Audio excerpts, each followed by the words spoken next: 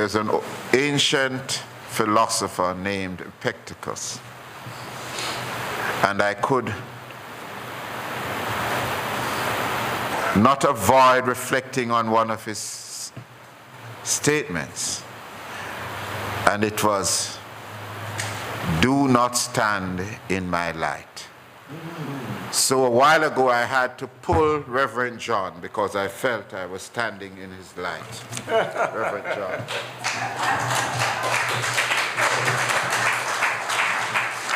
Thank you, Dr. Freddie. I think we, we share the light, don't we, friends? Good morning, family. Uh, welcome to all those who join us in consciousness by watching and listening on the World Wide Web.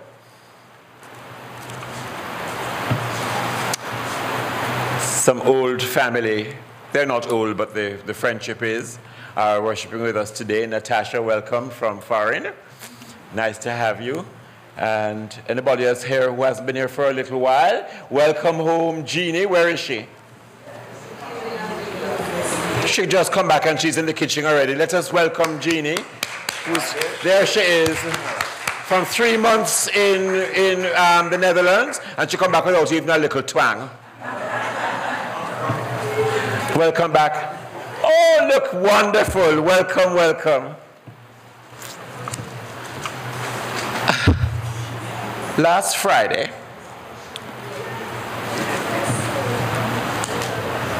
a man known fondly as Papa to the more than 1,600 men incarcerated in the Tower Street Correctional Facility here in Kingston, Jamaica, walked through the forbidding gates of that institution a free man. I, have no idea what words of farewell or good wishes he exchanged with the mates for whom he had been a leader and an inspiration for many years. But I can imagine his elation as he stepped for the last time past the sign that declares, None shall escape. Papa was a, a participant in the very first course Reverend Michael Record and I conducted in November 2013. And as some of you may know, the course is titled Change Your Thinking, Change Your Life. And that is what he did with his time at the Adult Correctional Facility. Let me read you what this bright young man wrote as his life purpose in that class. And I quote My life purpose is to be a light in Jamaica and in the world, using my skills and what I have learned during my time in prison to impart wisdom to others. Unquote. From the very first class, it was apparent that Papa was a leader. He chose a candle from a, among a group of objects to represent a quality which he saw in himself. And when he was asked to explain, he said, and I quote, I have always been a light, but I have come to learn that I was lighting others down the wrong path. So you see, friends, you can't help being a light. But where are you lighting and what direction are you leading people? I don't know all that he learned during his incarceration, but here is what he wrote that he learned in our class called the little evaluation at the end. Quote, I have learned to have self-control, to control my thinking and therefore control my doing. I have learned my purpose. I am going to be more focused on my goals.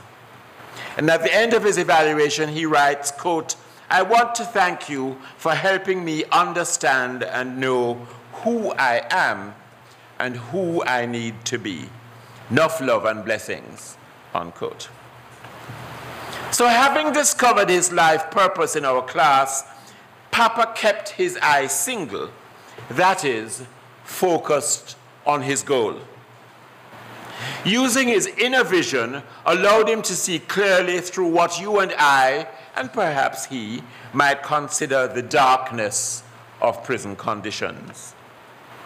So, my encouragement today, as I call my messages, has been titled Your Inner Vision is Your Eyesight. Your inner vision is your eye, capital I, sight. And it is dedicated to this outstanding young Jamaican who has changed his life by changing his thinking. He has promised to come and worship with us soon, and I will keep my eyes single, awaiting that visit with great pleasure. In Matthew 6, verse 22, we read that the beautiful Jesus said, and I quote, The lamp of the body is the eye. If therefore thine eye be single, the whole body shall be filled with light. But if thine eye be evil, the whole body shall be full of darkness. If therefore the light that is in thee is darkness, how great is the darkness? Unquote. The gift of eyesight, you know, is in my opinion one of the greatest wonders of the human body. If you just think about your optical structure with its intricate retinal system, the rods and cones, the adjustable lens designed specifically to allow the perception of colors and depth and shape in the world around us, it really is truly amazing. But, friends, in this teaching known as the science of mind, we learn about the working of the mind. And we come to realize that there is an even more amazing faculty of sight. It is our inner sight, our inner vision, or if you prefer, our eyesight. If I asked everybody here this morning to carefully observe the spectacular poinciana trees in our garden, and then to take a picture of them or paint a picture of them, the result would be dozens of different pictures with significant differences in detail. Some of you might take a picture of the, of the orange one that was in such full flight a few weeks ago, looking out towards the road. Some of you may take a picture of it looking towards the temple so you can see the temple through it. I know people like Carol Campbell who have an, uh, the artist's eye for detail may take a picture of one petal really close up and, and explore the detail of that and the, and the beauty of that tiny, tiny, perfect expression of God. But each of you would see it through different eyes and through your own unique consciousness. You would all have seen the same trees in the same garden, but each of you would view them through a different frame of reference. Am I right? I think so. We see and interpret our world through the lens of our consciousness. And our consciousness really consists of our belief system, our core values, the things that we really think and take to be true. And this is why someone who is unhappy invariably tends to see things that justify their unhappiness. The pessimist always sees discouraging signs while the optimist looks at the same circumstances and sees the possibilities in them. Now, Jesus says, If thine eye be evil, the whole body shall be full of darkness. This is an interesting statement by the master teacher because we know evil is not a thing of itself. Evil is not a power. So I want you to get this truth, if nothing else today. There is only one power. What is it? God. God and it is entirely good. And I believe you will agree with me that there can be no power opposed to God. So, friends, what Jesus was saying is that if your perception of life with all its potential goodness has been blurred or obscured by your fears, your negative habits, and negative thoughts, if your consciousness is based on the fact that the glass is half empty, if you have allowed yourself to buy into the race belief that life is hard and that love is only for the lucky and the strong, then your cynicism will color the picture you see, and the whole body of your life's experience will reflect that negative perception. So when Jesus referred to evil, he was talking about the concealment of good. It is purely the absence of light. When we come to understand this, we begin to understand that anyone who is unloving or violent or even unjust is actually a person who is good but who has never learned that truth about themselves. Or maybe if they learned it, they have forgotten it. In a very real sense, we can change that person, at least as far as we are concerned. And to accomplish this, we must behold him or her with the single eye that sees only the good and the true in others. Silently salute the divinity in that person and watch him or her change in their dealings with you. I believe that if we expose that person to this kind of seeing, we will also be a strong influence for their actual change. There is a point that is amusingly made in a story that originated in the Far East, which I have Jamaicanized. I have shared it before, but like all good teaching stories, it bears repeating. The story is about a young man who was walking down a road in Miami, Florida, and spied a beautiful girl walking along the street in front of him. Typical Jamaican boy, he followed her for several blocks, musing on how the way she walked her undulations reminded him of the hills and valleys of his beautiful homeland. And just as he was about to call to her, she wheeled about and demanded, Why you follow me? oh, you is from Jamrock too? I should have went no. For those who are not familiar with the Jamaican way of speaking, she said, Why are you following me? And he responded, I should have known you were from Jamaica too. Not nearly as nice in standard English. Me for? Oh, you come from Jamrock, I should have went no. Then he declared earnestly, You is the prettiest woman I ever seen my whole life, and I have fallen madly in love with you at first sight. Marry me now? Do. The girl said, Sure. You're not so beautiful yet. Just look behind you and you will see my younger sister who is 10 times more beautiful. Now she is Miss Jamaica material. So the amorous young man wheeled around and his gaze fell on as plain a girl as could be found in all of Jamaica. And plain girls are quite uncommon on the island, I assure you. What mockery is this? he exclaimed. You're trying to make a idiot out of me. You lied to me. so did you? She replied. If you were so madly in love with me, why you turn around? Smart young miss. Are you guilty of this, my friends? Have you fallen in love with truth and you boldly declare that God is the only presence and the only power in your life but you turn around whenever someone says, Look over there, there's something good happening over there.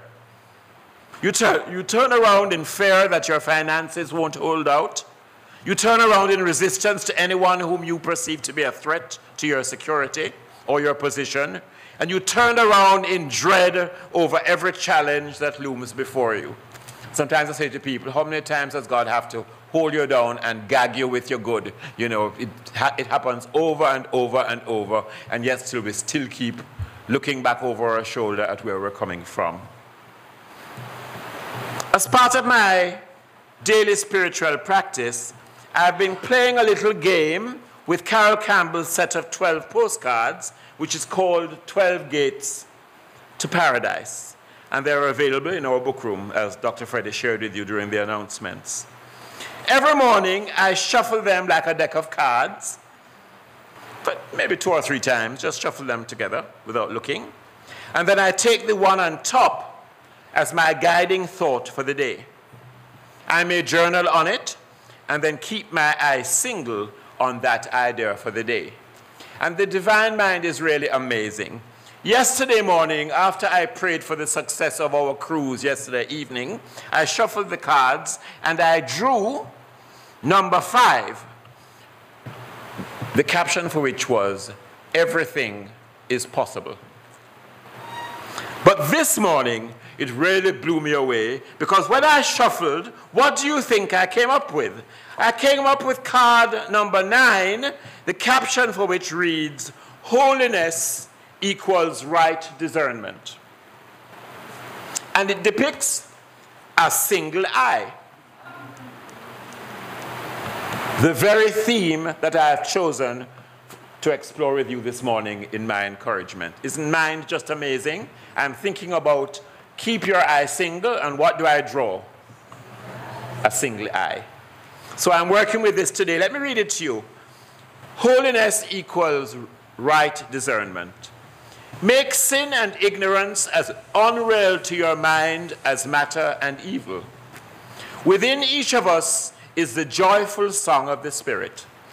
Let us choose to imagine life holy and omnipresent. As we focus on our highest self, our joy must come to pass sooner or later, effortlessly. The mountains don't groan and labor to be great, nor do we, because we are spirit. And the caption, the, the affirmation by Emma Curtis Hopkins is this The spirit that I am is joyous and sings because spirit is joy. The spirit that I am is joyous and sings because spirit is joy. Can we say that together? The spirit that I am is joyous and sings because spirit is joy. Thank you, Carol. These are just wonderful.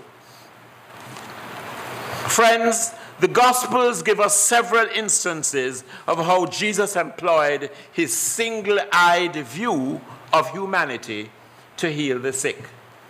And isn't it wonderful this morning how Dr. Freddie said, I joyously give up and relinquish humanity to embrace my divinity. My words, but paraphrasing what he was, he was praying. So when Jesus said to the man with the withered hand, Stretch forth thy hand, Jesus was using his spiritual eyesight to see the original perfection and to call it into outward expression as a healed limb. Wouldn't it be wonderful if we could look at all the affairs of our lives and say, I see you as perfect, whole, and complete? Isn't that the truth? We can glean a great lesson from the master teacher then concerning the idea that all people are divine. The lesson is this we can and must determine the level on which we are going to relate to our fellow spiritual beings. If we deal with others based on the appearances of how they seem to be functioning, then our relationship will be shaped and molded by that level of consciousness. If you are grumbling that you just can't trust workers these days, or you are constantly nattering with your friends about why people have to act that way, stop and consider this. That was your experience of that person. And your experience of that person was created by the fact that you were relating to them at that level of their consciousness and yours. You drew out of him or her what you perceived him or her to be. You could just as easily have drawn out their highest and best self, the noble divine self that is the truth about every single person. But you would, uh, you would have had to precondition the relationship or business transaction by seeing it with your inner sight, your eyesight. Years ago, I was doing a workshop uh, at, at a, a, business place. It was a whole week of, of training for a group. And one day we were discussing how this matter of perception and how we see what we want to see and then it reflects what we really believe about others. And this woman said, Boy, John, you can say anything you like. I have a little girl, she's going to be 13 tomorrow, and the picnic bad. She bad, she bad, she bad. She run with a gang of boys. She come in all hours of the night. The teacher says she bad. The guidance counselor at the school says she bad. Last night, the police brought her home and says she bad.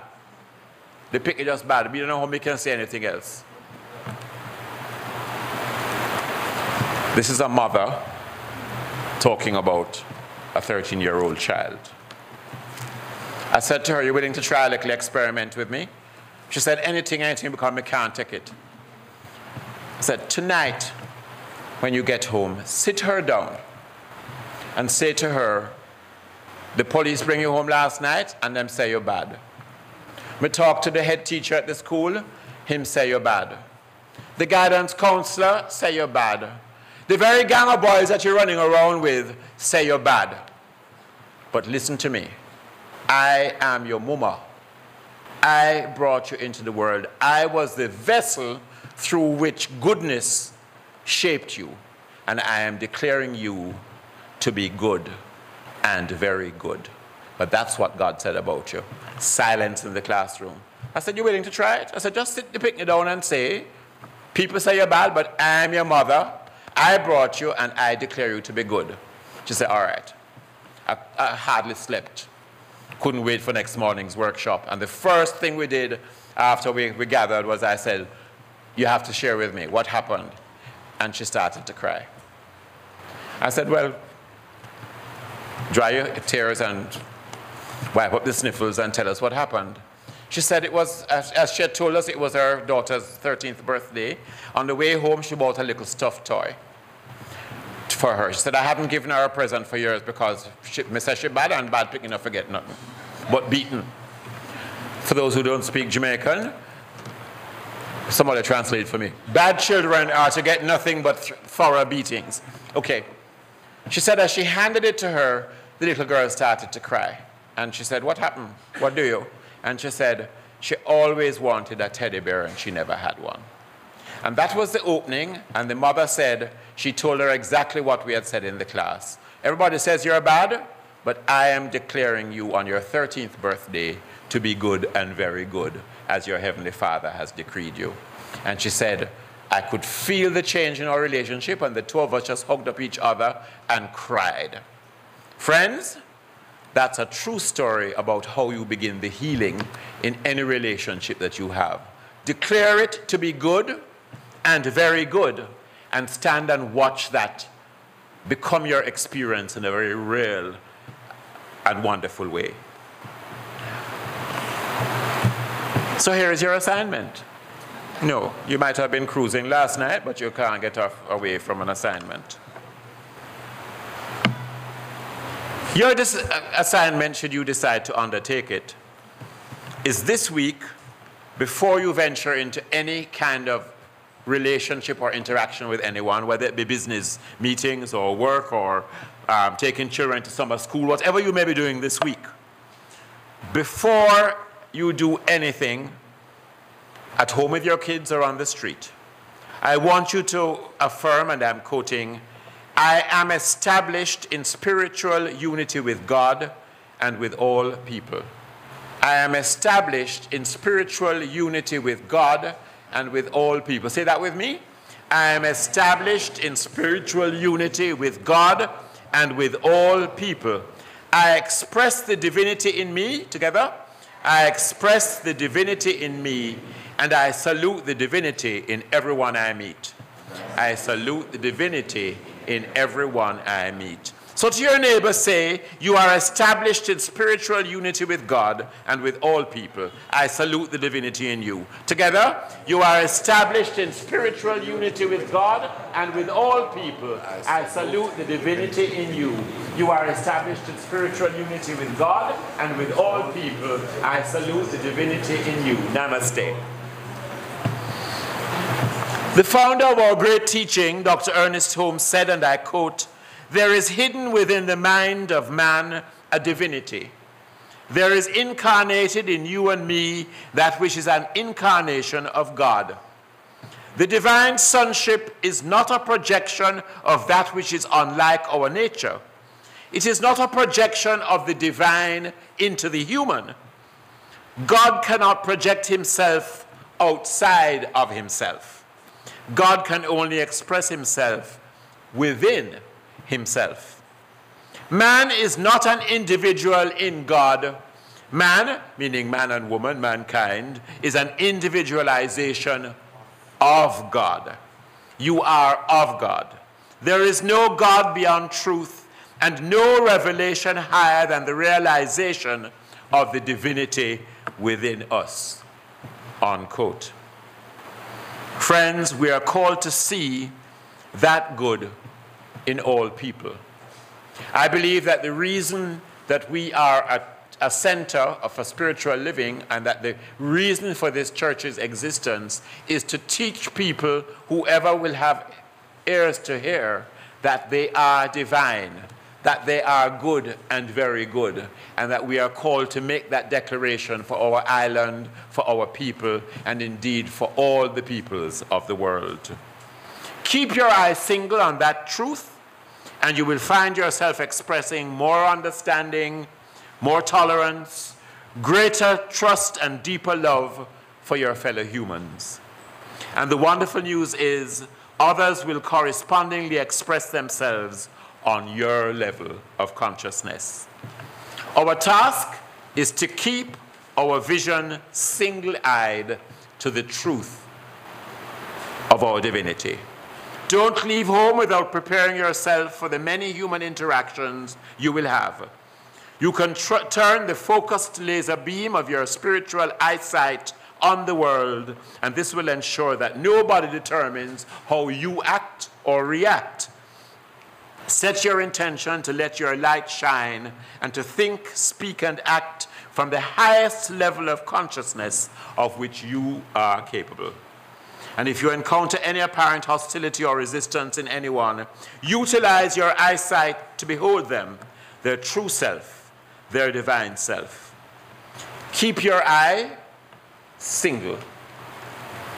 Look only at what you wish to achieve and to experience. I behold that divinity in you. Namaste.